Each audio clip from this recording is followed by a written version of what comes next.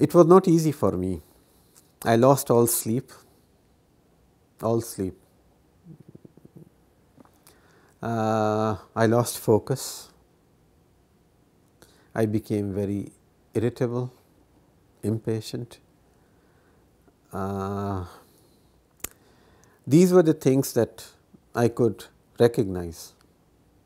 I could recognize what is happening to me. I knew this was depression even if I do not want to admit it, this is depression. Uh, I sought help. Mm, I sought I sought a psychiatric referral.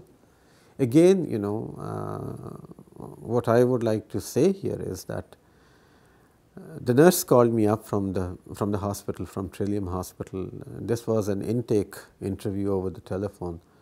When I told her what I was going through, she said, "No, you can't wait for uh, a regular for a standard appointment time.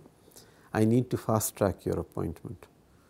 So I am going to put you through our uh, urgent response mental health team and you will be seen by the doctor very soon and that is exactly what happened.